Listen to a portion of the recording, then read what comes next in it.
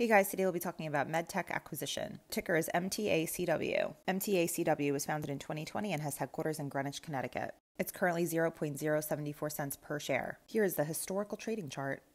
The market cap is 308.44 million. Be sure to check the video description for more information. Be sure to subscribe to learn more about stocks.